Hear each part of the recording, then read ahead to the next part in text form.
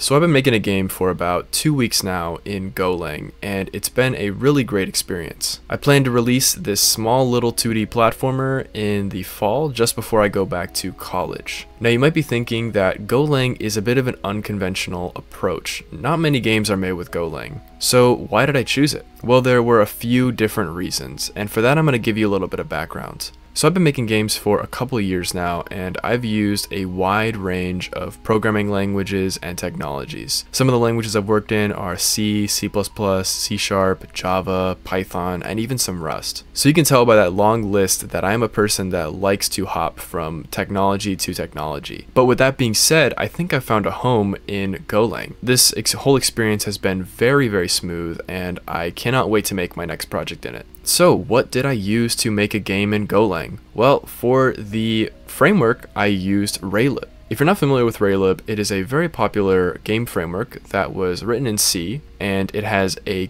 ton of bindings. I've used it primarily in C++ for making small little demos, but it haven't none of them have really gotten off the ground. So given that I have a good amount of experience in Raylib, it felt like a great choice for learning Golang. So when I picked up Golang with Raylib, I was really surprised to see just how seamless it was to actually make a game a lot of times, you know, Raylib's simple API can be a little bit misleading because the while the API itself is simple, writing a game in C++ has a lot of quirks. The main one being memory management. Now, I must give a note to this. I completely understand the point of memory management. I've worked mostly with C++, um, but the problem was that I am making a small game. And what I've found is that when I'm trying to make this very small game that is not going to be pushing the limits of any device that it's on, it's a little bit unnecessary for me to architect a huge system that is properly memory managed for absolute efficiency. So for my personal use case, I found that using a garbage collected language was a huge benefit. I was able to whip something up very quickly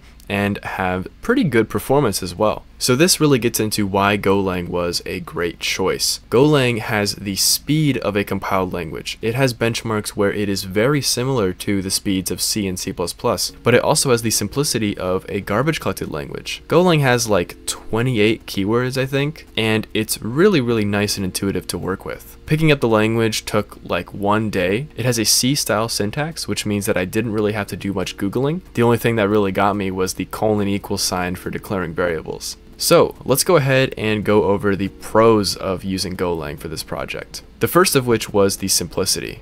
I was able to learn the language, start a game, and get all the major mechanics down with 10 or so levels within two weeks. In C++, it would have taken me two weeks to get just a very, very basic prototype done. So my speed of development in this language is very, very fast. Additionally, I'm going to mark the garbage collector as a pro for Golang. And the reason is because the garbage collector is very efficient in Golang. If you're ever thinking about garbage collected languages, you typically think of slower languages like Python. The good thing about Go is that Go is a strongly typed compiled language. So even with its garbage collector, it is very, very fast. And the last pro that I will give is the tooling. Now I gotta be honest, the package manager, at first I didn't really like how they did things because I didn't understand it. I was copying and pasting the GitHub URLs manually into every import statement and I didn't realize that if you just kind of start typing it, it will find the package in your repository and bring it in automatically. So I was really annoyed with that. But after getting used to it, it is extremely convenient. On top of that, another great thing about the tooling is the LSP is wonderful. The LSP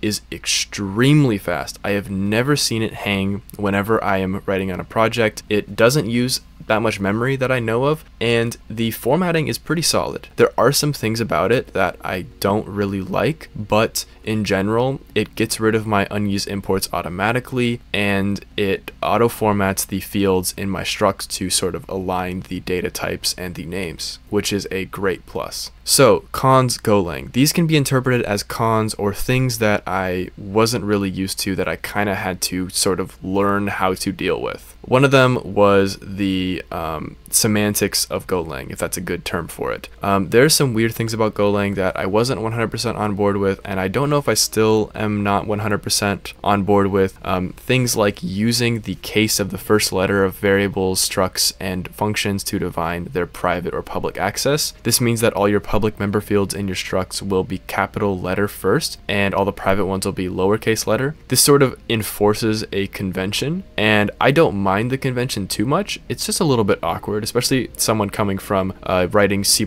and Python, which both typically use either snake case or camel case. So it was a bit of a weird learning curve. Another issue that I ran into a little bit that isn't actually a fault of the language itself is that the game development ecosystem is very small. Golang is not thought of as a game development language. Golang is a backend language. It's used in servers. It's not meant for making games. So there's not a lot of community around it. This is both in the documentation side and in just the content side. The reason I chose Raylib in the first place was because I already knew Raylib, and the Raylib bindings for Golang are one to one. If such a thing as Raylib didn't exist, I would have had a really hard time getting things to work. So I am very thankful for Raylib to have given all these bindings for all these different languages, but it does kind of suck that there are not a lot of creators. Additionally, whenever I'm like using a technology or like a tool, I like to look up like games made with this tool, or I look up like to look up YouTube videos of people like devlogs of people using the same technologies as me, just to sort of give myself a little bit of security, like there is a bit of community around me and that's not really a thing here. You can find like a handful of videos of people using the Go bindings for Raylib. So that's a bit of a con. It's a con that I think could go away with time. But as far as actual cons in the language, I would say that there are two primary ones. Enums are not great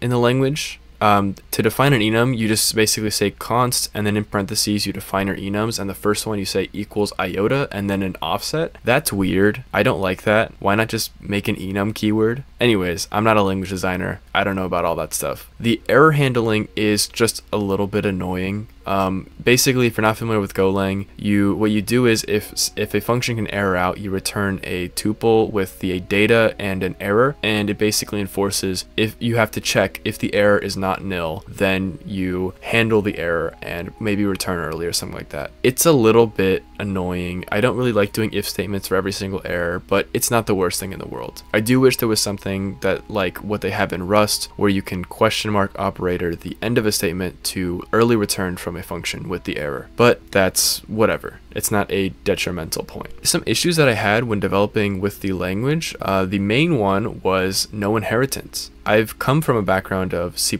C Sharp, and Python, where all these languages, except Rust, um, all allow inheritance. And so whenever I came into this language, I was like, okay, let's make a base sprite class, let's make a player class, let's make an enemy class, and they both inherit from sprite. Oh, you can't inherit from sprite? What's going on? So I had to really rethink, how am I going to structure my game? And given that my game is a simple 2D platformer game, I took the procedural approach. I have a player, I have a list of enemies, I have a list of items, and that's about it. But I wouldn't say that a lack of inheritance is a flaw in the language. What it actually is, is it's a really exciting opportunity. I've been meaning to write a great ECS for my games, and I think this is just the way to do it. Uh, Golang is a simple enough language that it won't take me 100 years to make my own, but it also actually requires that I use it over just the simple object-oriented game development that I've been using for so long. And so I'm really excited to start a future project where I can make my own ECS with that. But yeah, overall, Golang has been a great experience, and I am really looking forward to finishing this game and having it out soon. As I am a game development YouTube channel, I'm, I'm really considering making my own tutorial series on game development in Golang, but I want to sort of poll the audience to see do y'all